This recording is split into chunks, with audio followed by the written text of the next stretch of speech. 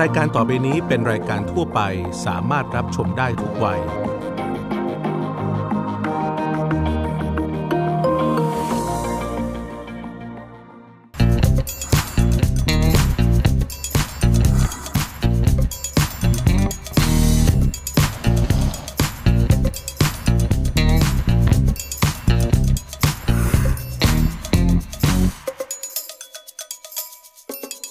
วัสดีครับ สวัสดีครับ ต้อนรับเข้าสู่รายการ Talking Thailand.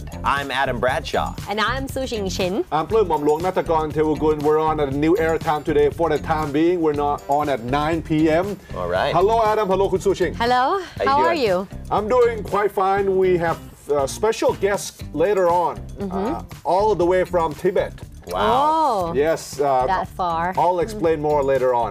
Yeah I hear the coming. altitudes are pretty high there Yes. but on the show today, you better be paying attention because uh, the question that we will be asking, and if you paid attention already just a couple of seconds ago, you know the answer. Uh, I'm giving, uh, we're giving out Noah DVDs from uh, United Home Entertainment, five of them. The question is, where will our guests be coming from? Okay. Okay. Okay. They're from Thailand, but um, we, they went on this trip to Tibet. Okay. Yes, okay. it's an amazing trip. And so, And, we always get like uh, questions when viewers ask us how to practice their English. You know, this is one way to be able to do that, to watch movies in English, or maybe you can put on English subtitle. You practice your listening skill. So it would be great if you get the Noah DVD. All right. And another thing is when you're watching uh, a movie or a series, a lot of Thai people will turn on the Thai subtitles, and then you're just looking at the Thai subtitles. You never, you don't learn as much. So turn on the English subtitles, write notes, uh, you know, repeat after them, and then you can get a bunch of uh, different skills at once. We have reading, writing, uh, listening. And speaking, if you can get all four at once, that's great. So get your pencils out or your pens out and start writing down new vocab words and try and uh, repeat after uh, Noah or whoever else you're watching. So This, it's a pretty good movie. I've watched this. Uh, Russell Crowe and Jennifer Connelly. I haven't seen it.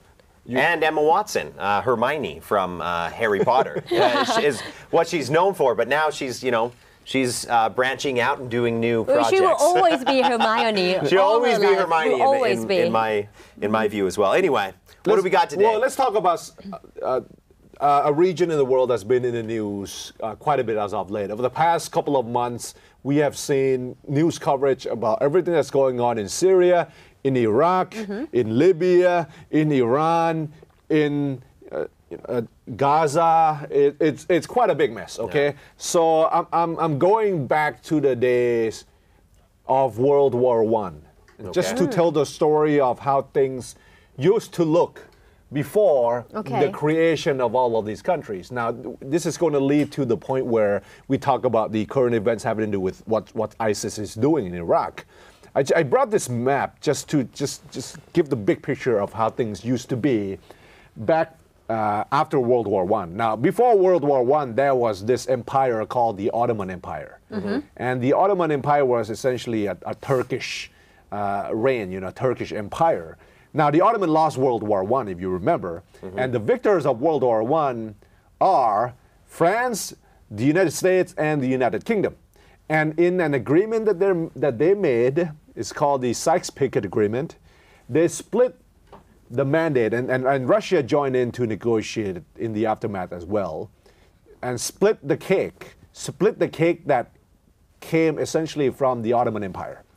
So bef- before World War One, there was not really the, the countries of uh, Iraq or the countries of um, uh, Iran. you know, we're talking about the whole bunch here. I mean, we're talking about Israel, everything. Israel right there. Okay, Uh-huh. so so the mandate uh, in the top portion was Russia. So Russia got those countries, essentially became part of the Soviet Union, and then you also have the French mandate, which uh, contains Syria, and then the British mandate con- con- contained here Baghdad, here Iraq, and along with many other countries. But the main countries I'm talking about on the show today is Iraq and Syria. Okay, so Iran was a country. Uh, Uh, back I- then. Iran was essentially its own Okay. empire. It's like part of the uh, the remnant of the uh, the Persian Empire.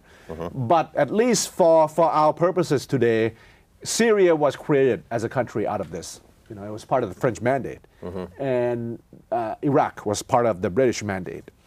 Now, this is what the group ISIS likes to talk about. You know, ISIS, this this group that is running rampage uh, through the the country of Iraq and Syria, you know, killing a lot of people, forcing people to convert, you know, and beheading American journalists. You know, Now it's two people now. Two- two, yeah. Two American journalists have been be- beheaded Yeah. on camera, and uh, There you might know, even be more. And they threaten that. What these guys declare is that they want to do away Mm-hmm. with the, the, the idea of the nation state in the Middle East.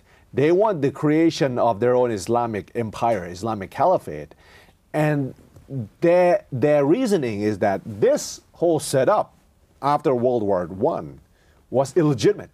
They always refer, and I, I hear their arguments on this a lot, they always refer to the Sykes-Picot Agreement, which split these countries from mm-hmm. the Ottoman Empire. And they say that this deal was not supposed to be done. It was illegitimate. And so, they're vetoing the deal. yeah, they're vetoing the deal that was done in uh, 100 years ago. They want to Yeah. go back to the empire. yeah, they want to go back to the Well, days the Ottoman, before the this. Ottoman Empire is now going to become ISIS, is what they're wanting, okay, right? But, and but but we don't want to compare the Ottoman Empire to ISIS either, because the Ottoman Empire was a, a legitimate country Exactly. that that that did not have the kind of uh, uh, savages Mm. now running ISIS. Okay, so it's it's a different animal. But ISIS wants to have a, a total empire, so they want to do away with this, create their own their own big mandate. And you know, the the story of the beheadings man, certainly is is quite scary. Let me show you another map. Let me show you another map. It's it will sh- it will kind of give you the big picture of how let, Libya, Libya. Now ISIS haven't gone to Libya yet, but Libya also was not one country. Essentially, it was it was part of a European colonial system, and originally it was split into three: three Tripolitania, Latia, uh, Fezzan, and Cyrenaica. So when, when Italy and when the Europeans had control over Libya, they ruled over it as three protectorates, 3 governorates. So Libya was never fully united as one nation uh, until I think after World War II. So this is why, like modern day Libya, you know, if you look at what's happening now, they're fighting civil war. The people were never truly united, and Right. under Gaddafi, it was a, it was a dictatorship. They had no choice but to to be united under Gaddafi. So that's another hotbed of political violence that is similar to, to Syria and Iraq, but ISIS probably has not gone there yet. But on the issue of, of ISIS, what they believe is that these countries on their own are too divided. So the idea is that you must maintain control over all of them mm-hmm. as a big empire, as a caliphate. Let's have a look at the next map and you'll see what I'm talking about. The idea is like a Umayyad empire. Now, Adam, this Wow. was a real empire that spanned from Tunisia, Libya, Egypt, all the way to Syria, Iraq, part of the Soviet Union, down to Saudi Arabia. Mecca, yeah. This was Umayyad. This was the most successful Islamic caliphate, a real one. This was tell this me, is tell me the years of this one. This is from this is AD 661 to 750 AD. Wow. This is not that long ago. Yeah. Well, I mean, This is- it's AD, so I mean, This it's is not not- like this is not before prehistoric. Yeah, not prehistoric, No, but it's, so- it's pretty. I mean, oh, a couple thousand years ago, basically, or uh, fifteen hundred years ago. Okay, now what I'm, I'm telling you, the whole message, unless I'm not clear, is this has been done before. I'm not saying ISIS will succeed. ISIS will not succeed because they're just they're just too because in the it- way Yeah. well, that's the But it thing. has been uh, done You know, in what 500 AD, you know, the, you didn't have people like the UN, uh, the EU. Uh, you know, America Yeah. that were are policing the world But and making sure that medieval times. I mean, the problem is, I think that ISIS and supporters of ISIS are still stuck in the dark ages. They sti- they haven't accepted, you know, the reality of what we are now Yeah. as as a world and This- as as a you know we're all part of this world and you can't force anybody to be any religion no matter Yeah. what country You- are in Because they believe in forced conversion. And unless you, this is what they did to the, the, the, the Yazidis mm-hmm. in the mountains of Iraq. They force you to convert. If you don't, didn't convert, they kill you. And they did So this. They killed like a Well, thousand and people. You have to look at it like this as well. I mean, mainstream Muslims don't support ISIS. In fact, they condemn ISIS. Mm. And there, if you look at a lot of the uh, uh, YouTube comments on a lot of the the videos of ISIS, a lot of Muslims are, are saying we don't condone this. We are not. A, this is not what Islam is. Islam Mm. is about love and peace. They are interpreting the Quran incorrectly, and they're taking it too literally and not understanding that it's more metaphoric That's than right. it is literal. Yes. That's right. No religion can stand for But- the beheadings that we saw in the past Right. week. For Yeah, I- those people having to convert, as you said, Mm. how much would their lives be changed after that? I mean, if they, Oh, yeah. Well, I if they did say yes, we will convert just to to be able to survive. They would basically live under a, a, a religious dictatorship. But you know, okay, but to be, you know, when but people talk about how there's a lot of pressure now for the United States to go in and decimate, you know, the whole size- ISIS group. But uh, U.S. President Barack Obama has been quite reluctant because he does not want to send in ground troops. I think I, he will probably order some sort of airstrike. That's Well, he put more troops into Iraq recently. Um, but yeah, like we've talked about over and over, uh, Americans are kind of sick and tired of having to intervene in, in international politics and be the world police. Yes. But This one it is seems ex- like this is an exception. I mean, for the mm-hmm. first time in many years, I was talking to some of my European friends just this past Saturday. They they've always been against America mm-hmm. interventions and all that. And for the first time in many years, they said. America needs to do something about ISIS. nobody's These guys are evil. They, you guys, and I said, "Hey, listen, man, why don't you do something? Well, there should why be. does it have to be America?" There should be an international effort because Yeah, it, I- it will require an international effort. And like we've talked about in the past, why don't these countries in the Middle East come together, unite, and get rid of ISIS with the backing and support of the UN, the EU, The and yep. and uh, the US? You make a good point. ISIS was born as Al Qaeda in Iraq after the 2003 U.S. invasion. Al Qaeda came in. Mm-hmm. Al Qaeda in Iraq was run by this guy named Zarq- Al Zarqawi, and the U.S. killed Zarqawi using a- an airstrike. But then, the group led by Al Zarqawi was was reformed under a new leader, and that mm. new leader is called Abu Bakr al-Baghdadi. Al-Baghdadi means from Baghdad. He reorganized Al Qaeda in Iraq, and then Wait. went over to Syria to expand the group during the Syrian civil war, which after uh, happened after you know about 2006 or seven. So I mean, it's it's quite interesting in the development of ISIS as a group. So I mean. Wait, wait. Let's hear that name one more time. That was an awesome name. I'm very I, impressed I want to hear it again. Abu Bakr al-Baghdadi. oh wow, he speaks It- it's like a, Arab. hip- it's like a I thought it was just me who was That was impressed, you know. One of the reasons they were able to prosper as a group is because in Syria, you had a civil war. And in civil wars, these groups expand because they get weapons, and then there are areas, there are pockets that the government cannot control. So look, look at the next shot. I'll show you how bad Syria is.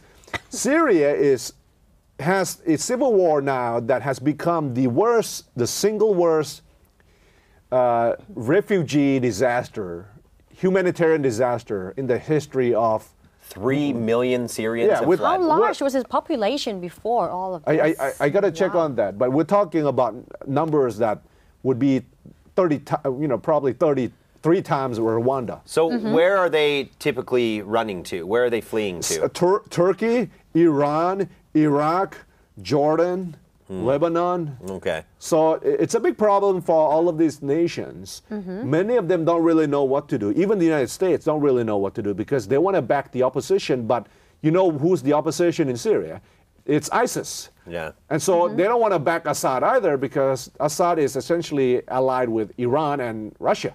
So, okay, this is a big problem. Mean, how, how many more lives before the world can intervene and make a difference? And You so ISIS grew within this time. I, you know, I'm, I'm just saying this out of personal opinion, but I really think that if Mitt Romney would have won the presidency, this wouldn't be a problem right now. Obama is too scared put his fist down. He doesn't no. want to rule. He doesn't You know, want to. you know what happened when they when they sent in arms to the opposition in Syria? A lot of those arms, you know, weapons and so forth, went into the hands of ISIS, and ISIS took those weapons regroup, and then came back to Iraq. and this is how they got stronger. They got stronger. They got all these mm-hmm. American weapons. So, what do you do, man? It's like it's it's it's a big mess. It- the whole region is a mess. Yeah, and I know. I obviously I can't put myself in Obama's shoes. I have no idea what he hears every day in his daily like. You know, they brief him on everything that's going on in the world. The CIA tells him this and that. I have no idea what he's he's listening to every day. But it seems like uh, the Republican side of, uh, or uh, just we'll say Republicans in general are more pro Yeah. like interventionalists, where they want to go in and help out the world, and where other people will say, "Oh, you shouldn't." You know, it's none of your business. But I think, uh, like Sueching said, maybe this is an exception. In 2016, Americans will make that decision, you know, Yeah. of the direction of their country. Well, even- and ISIS will be waiting. Well, and ISIS that's will be waiting in 2016. Hillary Clinton is beginning to kind of distance herself from the Obama administration. She wants to be the hawkish Democrat. Yeah. Because she knows th- this is what is unbelievable is that we all know now that ISIS will be fully alive and very strong by the time the United States have the next presidential election. Mm-hmm. This will be the biggest issue in the American campaign. Who yeah, can with the problem beat of the next ISIS? president. yeah, well, that's the thing. I mean, if Hillary's president, what that really means is Bill is president. So, Well, you know, she- that she's gonna she- play the hawkish tone. Okay. Uh, เดี๋ยวพักกันสักครู่นะฮะ ค่ะ We'll, we'll, we'll return with more of Talking Thailand.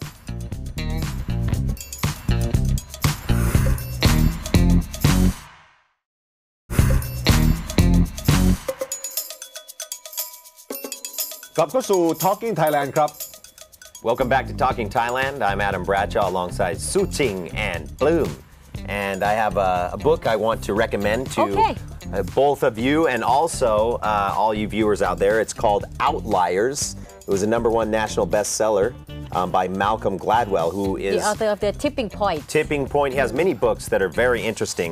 I came across this book just recently and read it within, you know, a week because I thought it was so interesting. And it really gives you an insider's perspective of, success stories. And we'll talk about uh, Bill Gates, we'll talk about the Beatles, we'll talk about professional baseball players a little bit, and why um, they were able to succeed. A lot of us say, oh, it's just a sheer talent. And the only reason they're in the major leagues, or the only reason that Bill Gates is where he is today, is because he's super smart. And obviously, that uh, is a factor that should be considered. But um, in this book, it really talks about opportunities that they seized. You know, they Yeah. didn't let opportunities pass by them. So, Outliers mean things that are not uh, according to normal patterns, right? Yes, in fact, in the very first chapter, it, it defines this as outlier, a noun, something that is situated away from or classed differently from a main or related body, a statistical observation that is marked, markedly different in value from the others of the sample. So it's someone that sticks out, basically. Mm-hmm. mm-hmm. Uh, outlier. So anyway, um, he starts out the book talking about just uh, Canadian hockey players in um, Little League hockey is what they call it, and um, they notice something interesting. They give a list of people that had made the team because you have to actually go and try out to make the hockey team in Canada. It's not, not like any kid can make it. Mm-hmm. And they looked at a list of all the, the players and noticed that uh, 17 out of the 25 players on, on a team were born in either January, February, March, or April. 17 out of 25. Mm, so a mm. large majority. And so they couldn't really figure out what that was, you know, saying. What, what does that even mean? And really, they figured out, oh, the eligibility cutoff for age class is January. Mm. So the older kids who mm-hmm. are physically more mature, mm-hmm. who were born in January, February, March, and April, have a little bit of an advantage mm-hmm. over kids that were born later. Okay. And so they use this advantage to get more practice in because hockey rinks weren't something that were ubiquitous, obviously. You had to be able to make the team in order to play hockey. And so he kind of talks about that, how they take advantage of the opportunity of being the older and more physically mature players, and they make the team, and then um, they get their practice, many hours, and, and they make the all star teams, and eventually they become um, professional hockey players. So then he compares it to Major League Baseball players. And he found out that the majority of Major League Baseball players were born in August, September, October, and November mm. because the cutoff date for Little League Baseball in America is July 31st. And so these older kids that were born right on the deadline were able to get more practice.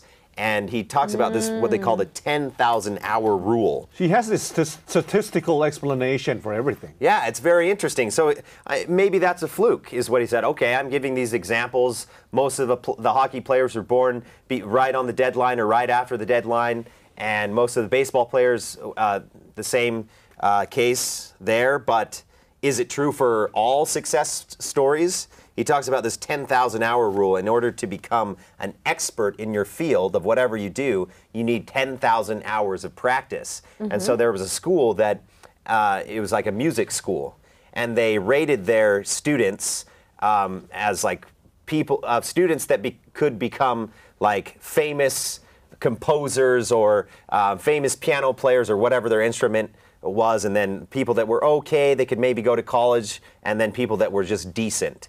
And then they asked the students um, from the, the different groups, what, uh, how, how were your practice habits uh, as a teenager?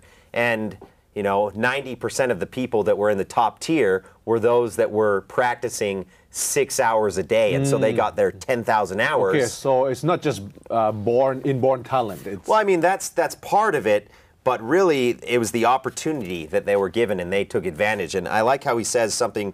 He says the people that ex, that uh, excel in life aren't just working harder than the rest of the people; they're mm-hmm. working much, much harder. Mm, and so he says, mm. okay, let's take a look at Bill Gates then, and, and some of the other famous people that are at the top of their mm-hmm. industries. Let's take a look at the the Beatles. Now, the Beatles. Um, they were hired on in Hamburg, Germany, where they worked um, for many, many. Let's see here. It gives us the stats here.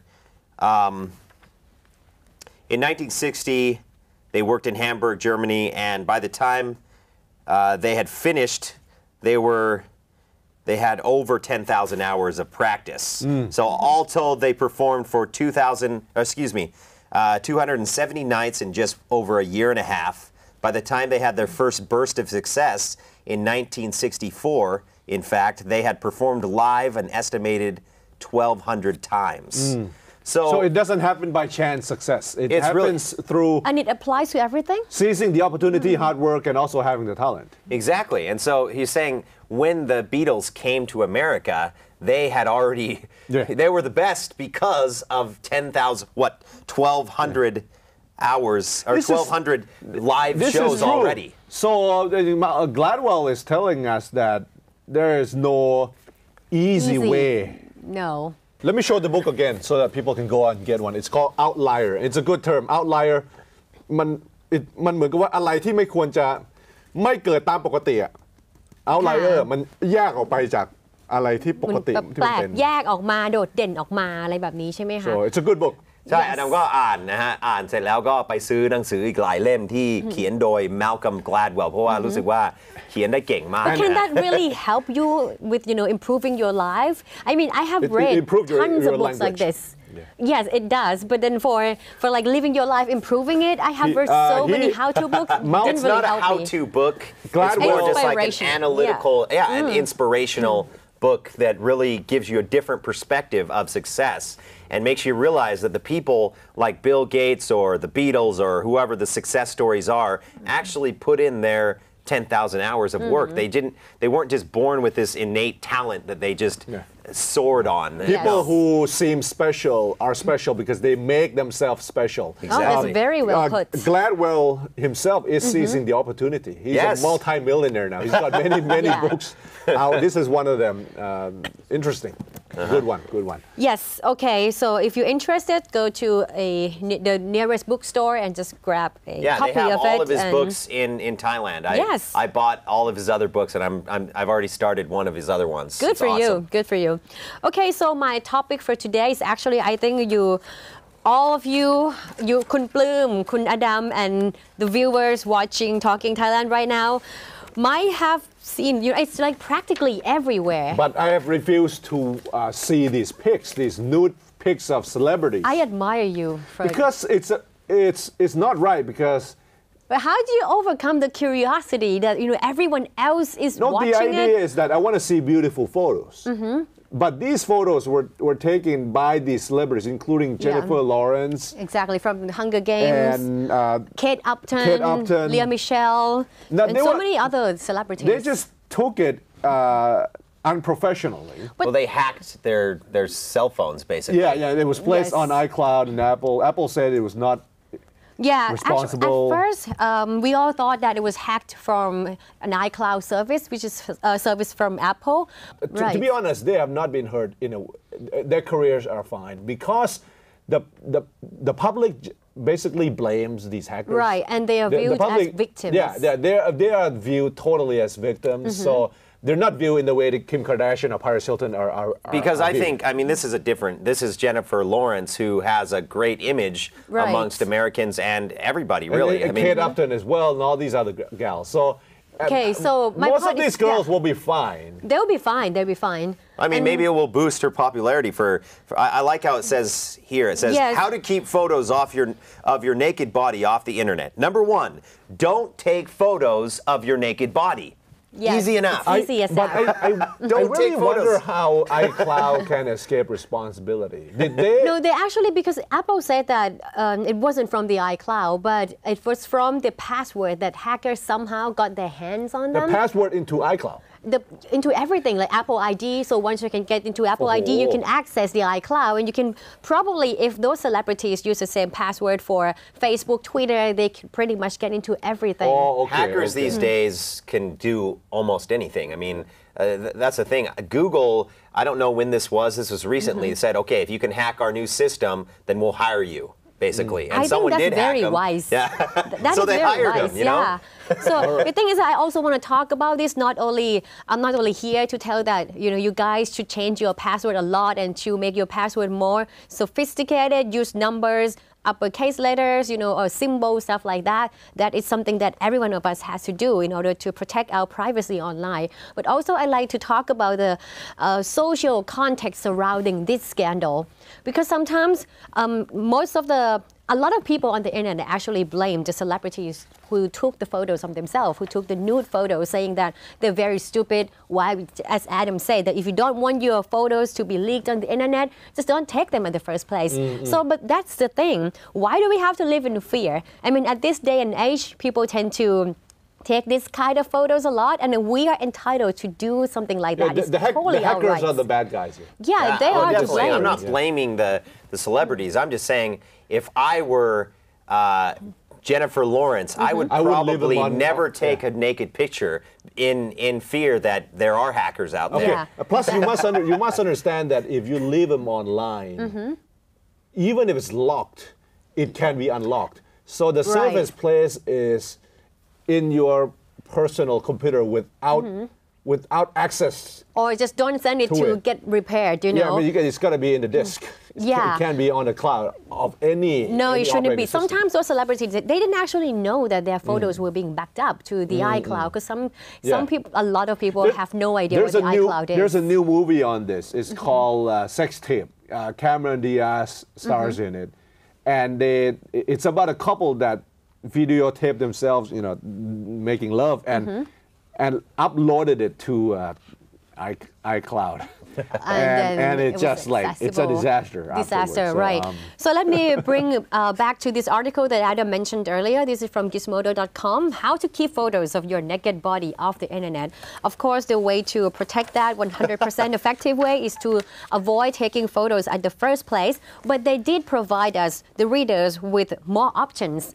If you must take photos of your naked body, don't put them on the internet. As Kun Bloom said, keep them in your computer or your hard drive, but be very careful with it. These days, I mean, if you have an internet connection that's not protected, then hackers can get on your. They can even hack your webcam Yeah. to see you know what what you are up to in your own bedroom in the, the privacy of your own home.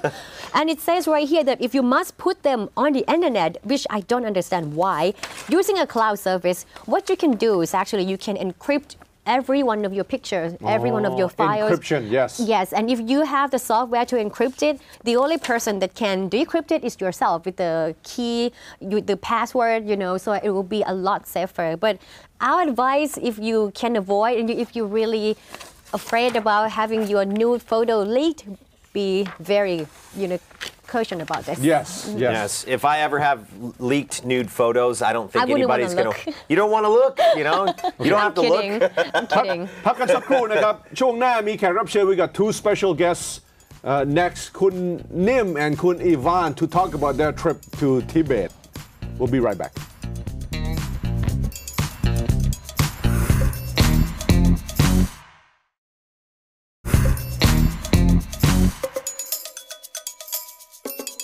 Welcome back to Talking Thailand. Talking Thailand Thailand from the inside out and the outside in ร่วมมองประเทศไทยในมุมมองที่แตกต่างระดับโลกนะครับ All right, we have a special guest. We have two special guests, not just one. Yep. And one of them, uh, for Voice TV viewers, uh, you will know her as the tourism diva. ดีว่าท่องเที่ยว ดีว่าท่องเที่ยวนะครับ she takes you all around the world อ่าคุณนิ่มกรกฎพลบรักษานะครับ สวัสดีครับพี่นิ่มครับ สวัสดีสวัสดีค่ะค่ะสวัสดีครับจ้า Now, ครับผม sitting to her left right there is a very handsome uh, British gentleman who is a freelance journalist. He is a photographer who went on a trip to Tibet with uh, Kun Nim, Kun uh, Ivan Cohen. สวัสดีครับสวัสดีค่ะ Okay. สวัสดีครับ Uh, there's a very good reason why the both of them are here. They, they both went on this incredible trip. It's quite a journey, all the way to the mountains of Tibet. Now, you, you're here to uh, tell us about your experience. Um, should we start with you, Kunim? Well, first of all, you know, when we talk about Tibet, you know, people just wonder is that Tibet is a country? Yes. Or Where is Tibet? Right? And then we just like figure it out like where is Tibet? So Tibet is like a roof of the world. It's kind of like on the very top on the high plateau of Tibet. Mm. But apparently, if you know or you know follow the news closely, mm-hmm. it's part of China. It is part of China. But it's the land, Tibet, Tibetan land. It's part of China. Do they have their own language? They have their own language, as Tibetan? Ti- Tibetan, Tibetan language. Yeah. And so it's, it has nothing to do with the Chinese language, or well, maybe. it's. I think it's more like you know, whoever the bigger country, they will take more influence, you Oh, know, in okay. another country, like we always know, Interesting. right? It's, uh, and who, who brought up the idea of going to Tibet? Was it, was it Ivan? Was it uh, Kunim? And, or was it Voice TV who brought up this idea? It definitely wasn't me. We just had to go along with it. Well, you know what? I, I always have my own radar that I just mm-hmm. like always just think about, okay, what will be the next destination? Mm. Just like, you know, thinking about a work, you know, how mm-hmm. can I bring mm-hmm. the story back to my work? So I, I got to know um, the scholar, Tibetan scholar. His name is Ian Baker, and he studied Tibetan language, and also he specialized in um, Buddhist, Tibetan Buddhism arts. Yeah. So- and he's an explorer, sort of. Yeah, and uh, he's an explorer. Don't forget about that. So she she brought this idea to you, and you said it's a it's a good opportunity to, to take some good photos, right? That's right. I, am kind of the victim in this. She brought the idea to me and, and suggest I go to, to Tibet with her, and it sounded like an amazing adventure, mm. uh, and it was. Mm. Yeah. yeah. Bloom, how can she be a uh, Diwa Tongtiep if she's not traveling all the time? This yes. is why she has to be on the look, you know, for new places to travel right. to. Yeah, the, mm. How how was it? Okay, you you went for how long? How many days was this? Um, it's about 23 days. 23 days. that's Yeah, a little bit more than three three, weeks. weeks. You can do shorter than this because the Ti- Tibet is so big, you know. It's so big, and you just can't do in three days or something, you know. So you had to fly over to China first, right? Well, yes. Actually, there are two ways, or maybe, maybe more than two ways. You either access Tibet from Nepal, Uh-huh. or you can access from China. Mm. So we started to fly into Chengdu, mm. and then we changed the flight, and then we go into to Lhasa. Lhasa. Once you get to Lhasa, what did you have to do? Did you have to get on a bus or a train, or did mm. you did you start trekking from there? Breathe. Inhaling. Inhale. The first thing is to, is to moment to breathe, breathe. deeply because there's less oxygen in Lhasa Right. than there is in Yeah. Chengdu or other elevations. So Well, in Lhasa, it's about 3,600 meters high. wow. You so know? did you have like difficulty breathing thinner. right away after you got off uh, certainly you feel the effect of altitude almost immediately. Some people feel a little bit dizzy, mm-hmm. Mm-hmm. and they recommend that you don't do any intense exercises like running upstairs or dashing mm. around because you can you mm. can faint or you can feel dizzy at mm. least. And so yeah, most people would certainly feel the effect of altitude at 3,600. That's close. Uh, that's a high, like a high mountain in the Alps. So it's like standing on the summit of a mountain in the Alps, but you're standing in the middle of a city uh, in Asia. Very mountainous terrain. Extremely mountainous. How, yeah. how, how exciting was it as a photographer to have a look at this type of landscape? You know? Uh, it's extremely exciting because uh, the opportunity to see a landscape like Tibet is very rare. There's one place in the world with elevations like that, mm. with scenery that is so vast mm. that it's hard to comprehend at times mm. the scale of what you're seeing. So, in that sense, when you enter Tibet, you are entering this very special part of the world, which they call the rooftop of the world, uh, and living something which you couldn't experience in any other place. So it was really, really unique and from a visual point of view, very exciting. Uh, specifically, what mountain did you head up Uh, after you start trekking? Well, in that area, there are so many mountains. As you know, you can see Mount Everest from Tibet, even though it's situated in Nepal. So are the border. mountains considered part of the Himalayas? But Uh, the- one the- of the, mountains mountain, in Tibet are they considered part of the Himalayas or Uh, are they a separate? Himalayas is in the south, some kind of of like south of, Yeah, board, okay. of yeah, the some of border, them are, yeah. right? But the mountain that we went, it's called Mount Kailash, Mm-hmm. or in Thai it's called Khao Prasumen. Okay. right? And then we have heard this thing in Sasana Put, you know, in the Okay, Buddhism, okay. right? So it's really real, you know, it's not only written in the book, right? It's a real place. Right. It's a real place. You probably heard about it growing up, Uh-huh. right? In, in, in uh, various stories. Let's have a look at some photos because Okay. you took a, a bunch of beautiful photos. What's going on here, um, Ivan? What's going on? This, this is like a, is a stream of water. This or- is a this is a typical landscape in Tibet, and what you'll notice, and which will be surprising if you haven't been to the high mountains, is that there are no trees. Oh. Uh, And in Tibet, when you arrive at 3,600 meters, and this is probably at over 4,000 meters, so just imagine again the highest mountain in Europe is Mont Blanc, which is about 4,000 meters. We're now standing way above the highest mountain in Europe, and there are no trees, No trees. no, Uh, very little vegetation. and very windy, I suspect, Kunim. Uh, yeah, it is. You know, it, suddenly you cannot really expect the mountain weather anyway, right? Because it's always like sunshine. changing, yeah. Another minute it's like cloud. Another minute was like hailstorm came down. So you know. what what uh, season was it while you were there? It's Was- was- summer. this is summer. It's a Okay. summer. So what is it like? Unpredictable In, weather. Doesn't look like it, but yeah, that's what is like it like in the winter there? Uh, that just covered with snow during the winter? Were you there in the winter before? I haven't been there in the winter, but the, the winters there are very extreme. So most people, if they're considering traveling, including Tibetans, uh, would not plan to do that in the winter because the passes are snowed in and it's extremely cold. Uh, in this season, even at four or five thousand meters, you can get down below freezing at night. But in the winter, you'd be looking at maybe minus 10, minus 20. So you, you chose a pretty pretty cool time to go, not Yeah. not too not too cold. Uh, let's have a look at the. Uh, this is the yak. This is the yak. Now, uh, yeah. what- What are they like? It's you know. Can you, it's like, play with called- them, it looks- oh, can I play with them? Whoa. Can you pet them? I mean, like, yeah, are they tamed or? You can play with them in your plate, but not, not when they're, not when they're standing up. I guess are these wild yaks, or are they domesticated yaks, or?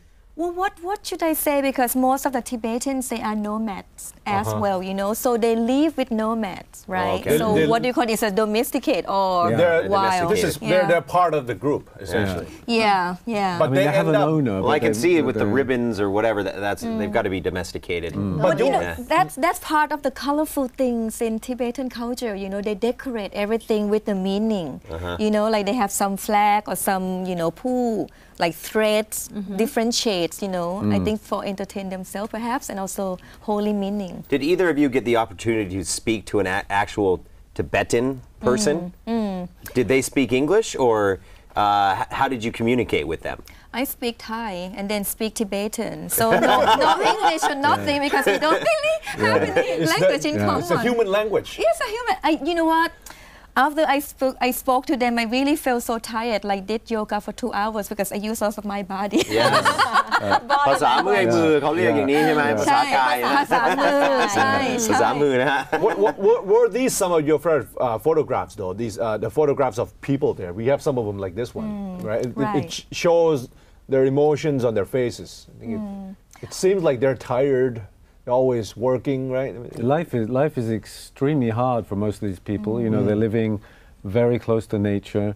They have no electricity, uh, in very basic heating, uh, and very limited resources. You know, their their diet Yeah. is just going to be dried meat, uh, milk, and butter products from the yaks that they raise, and barley if they can get it. So there's no fruit, no vegetable. All of these beautiful things that we enjoy in Thailand are not available for Tibetan. But do they consider that as like a hard life, you know, because they might be used to it? This is very Being interesting. around question. We talked about yeah, we yeah, talked about yeah. it. Would they think that their life is hard? Because they never like enjoy doing change the their life? electricity, cars, or you know things that we enjoy in our everyday life. Maybe they feel like their lives are you know that's just okay, happy, Mm. Mm. yeah, close to nature. Well, I, I don't really see any Tibetan has a grumpy mood mm. or mm-hmm. kind of like bad attitude on their Yeah, face. you very know. sweet. It's they are very and I think even though in the sun that you see them, you know, have the expression of like either squinching eyes, whatever. Mm. And I don't think they did that because of emotion. It's just a reaction to the nature. I mean, if we imagine Yeah. all the stresses that we have in our lives, and mm-hmm. the stress of ambition, of targets, and of deadlines, they they're living to a certain extent outside of those stresses. I mean, they have stresses related to the environment mm. and perhaps to their natural produce, their mm-hmm. livestock. But there are many fewer inputs into their life that would result in stress. So mm. we had the impression that they were very peaceful and very friendly people. and I they like, I- are. I, like a photo the photo of this uh, kid He's cute. yeah, he is. but you know he- what? doesn't what? he carry some stress there though yeah, it's a lot of stress, right? Who are it these like it's people? stressful Who are these people? What is that thing they're holding in their hands? Yes. Yeah. Why you- does it flash at me? you, you know what what was amazed me about the kids in Tibet they they are fearless oh they are fearless you know they walk to you they look at you in the eyes they hold your fingers they walk with you and I just melt She almost brought back several children. yeah with her. two at least Yeah. yeah I was like gonna kidnap How them much technology do they have, or if any? Did you even have like cell phone signal while you were there, or like, yeah, exactly I what think kind they of seems to technology? care I, we saw for There's you- actually you quite, guys. Cell phones are interesting because uh, you know cell phones are, uh, is a technology that penetrates into relatively uh, undeveloped societies very quickly because they're mobile. So people didn't have a land phone; they had a cell phone, and so surprisingly, we did see quite a few Tibetans in relatively remote places using cell phones mm. because the Chinese government has established a network there. Yeah. So that was kind of fascinating to see mm. people living such simple lives mm. Uh, in such wild and remote places, but holding a cell phone. But it's not like they're using smartphones, No, right? Maybe no, feature no, no, phones, no. how did they charge how did they charge a mobile phone How did they charge a mobile phone? because Good we, we, we don't have electricity Solar when you power? were camping Solar power. That could be Yeah. it. Wow. Yeah. Yeah. We have a clip uh, from your experience uh, in the city, I think. I think this is part of your uh, trip that was in the city. Let's have a look at this clip and, and we'll come back and talk about it.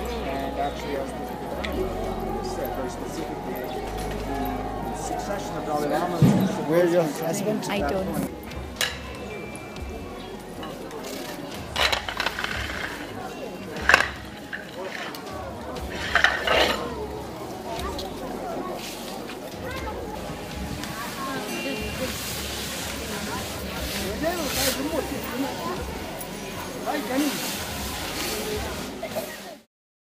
I like how that man went down on the floor to pray. Was it to mm. pay respect to something? It's like this picture where we have. I think this is you couldn't find or you couldn't see any Tibetan without doing that mm. position in their life mm. because it's part of their life, which is pay respect to the Buddha. Why can't they? Well, why can't they pray like a like, Like a normal us, Thai right? people? Like you know. Mm-hmm. Yeah, yeah, Why, why do they have to go all the way like Right. in a skating skateboard mood, something like that? That's, I think that's a really good question. It, it, it seems that the intensity and the depth mm. of belief among the Tibetans is, is expressed in this form, mm. which yeah, is it's something. which is much more demanding, you know, physically than any other kind of prayer form you've seen anywhere else. And the Tibetans we met uh, mm. three or perhaps four Tibetans who had been doing this prostrations for 10 months, mm. traveling across the country on a road mm. mm-hmm.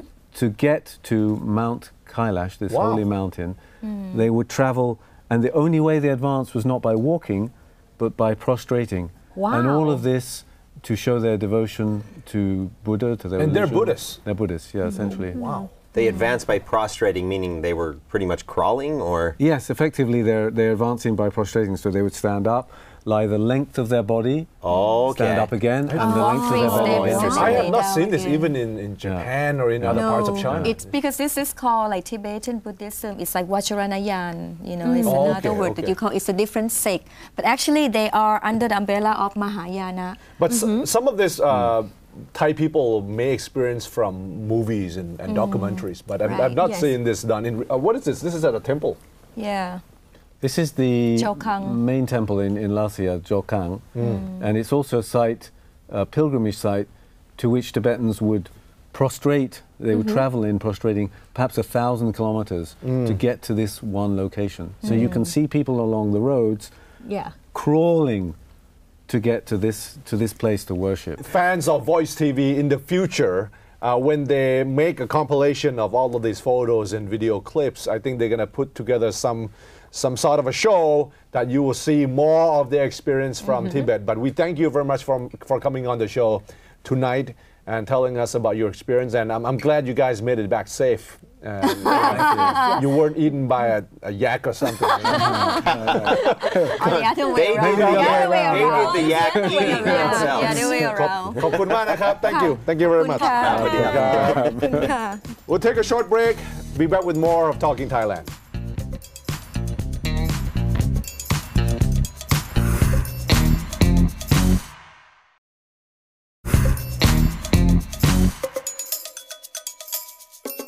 Welcome back to Talking Thailand วันนี้ไม่ได้เรียนคำศัพท์ไปหลายคำนะคะอาจารย์ดำ ใช่ครับ จริง ๆ อันนี้จะเป็นหนึ่งคำที่เขาตั้งใจจะพูดนะครับในช่วงที่3นะฮะแต่ว่าเขาก็ไม่ได้พูด แต่เขามาสอนนะดำเพราะว่าก่อนหน้านี้เราไม่รู้จักคำนี้บอกตรงๆนะฮะอ่าคำที่ที่ว่านะครับก็คือ circumambulation circumambulation อ่าอันนี้เป็นคำนามนะครับ ซึ่งแปลว่า การเดินรอบสิ่งศักศักดิ์สิทธิ์นะฮะ so circumambulation is the act of walking around a sacred object or idol and so I guess they Idol. did that Oh. Before you become a monk during the the uh, procession, you're supposed to be uh, circumambulating around the temple for three times, something Yes. like that. or เวียนเทียน something Yeah, like yeah, that เวียนเทียน without the candles Yeah, Wien Tien.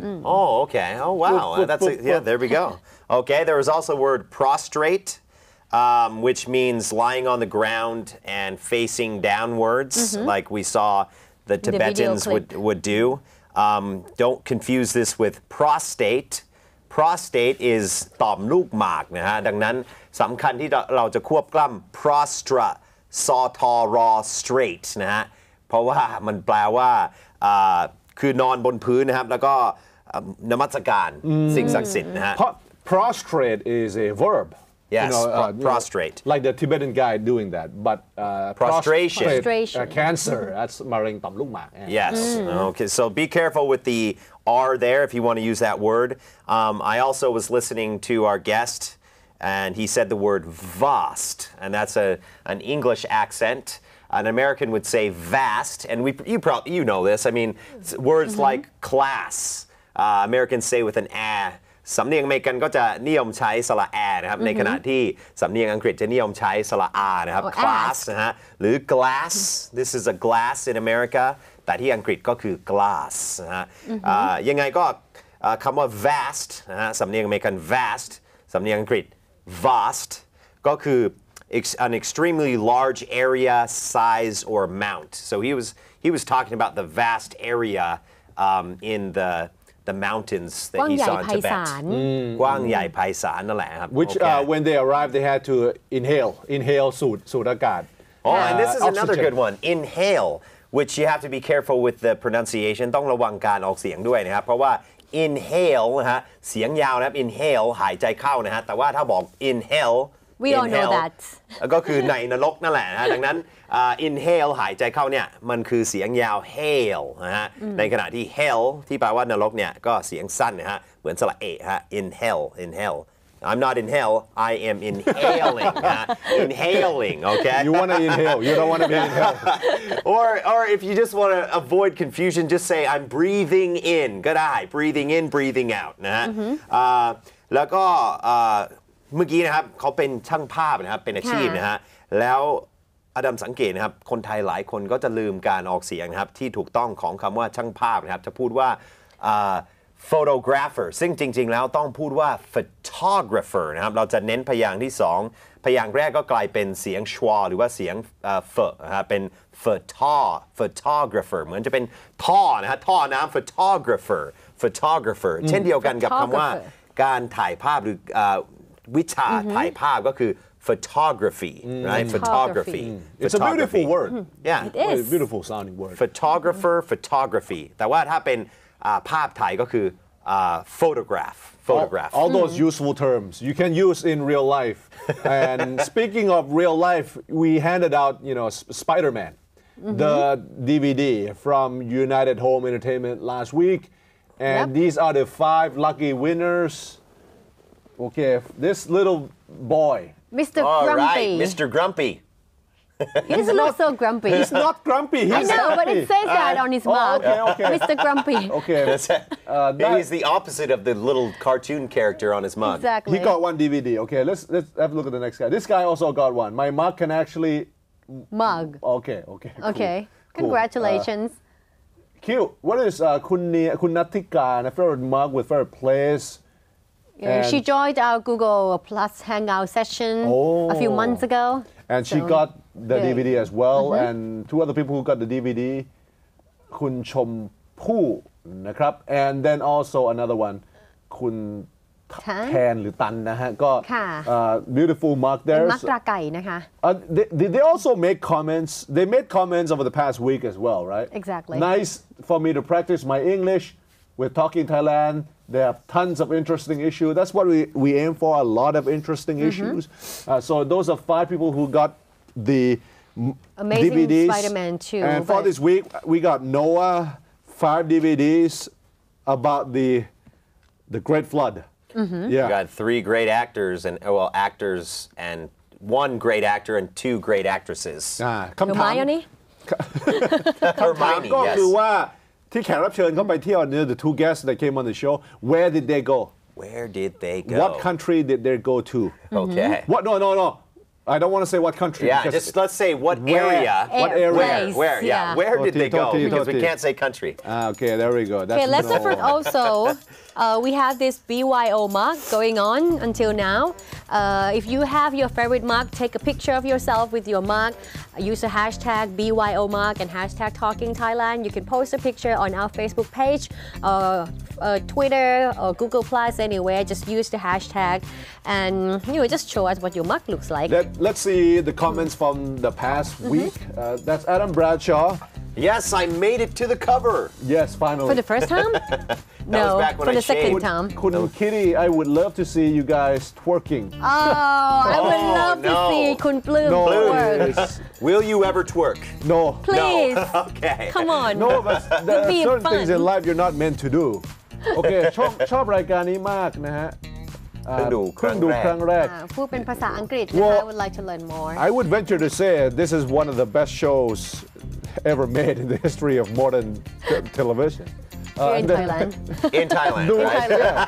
ดูที่นครพนโอ้อินนครพนม ได้วอชจากคุณอภินันท์คุณนัทเล ชื่อใน Facebook นี่เป็นชื่อที่ อ่า อ่าน ยาก ยาก นะ อ่าน she's ยาก from Malaysia so maybe that's why I'm from Malaysia and I Sawadee love to watch this talk show.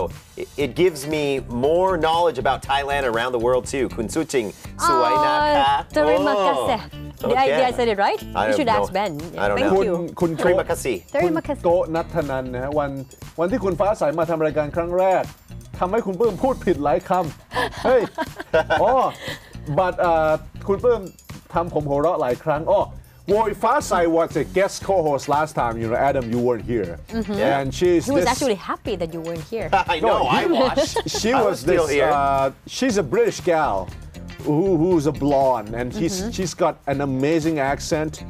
And, and a lot of viewers were impressed. So what we're gonna do is we're gonna invite Kun Fa Sai back on to help co-host the show in the future one of these times. So Yeah, I Yep. think she's she's great, and I'd love to talk about uh, accents and the difference between the American accent and the.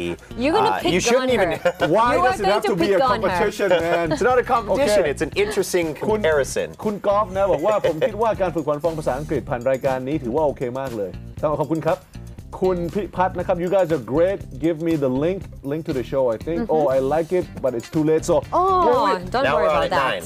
Well, right now we're on at 9. We aim to be on at around sometime that's not too late, not too early, sometime at the beginning of the year. But hopefully uh, the schedule will We're work testing out. 9 p.m. just to see how Just- many viewers will be able to watch us. Uh, 11 p.m. is a bit too It's a late. bit late. Yeah, okay. that's true. So um, yeah, th- those are the comments. Uh, ฟังง่ายครับมีสาระ thank you that's what Voice TV is all about we we do content right here in Quality the free TV content. digital age. Okay. All right. Uh, we, we thank you for joining us tonight. Hopefully, you have a wonderful weekend ahead. As for Kunsu Shin, Kunadam and me, uh, good night, ครับ สวัสดีครับ สวัสดีค่ะ สวัสดีครับ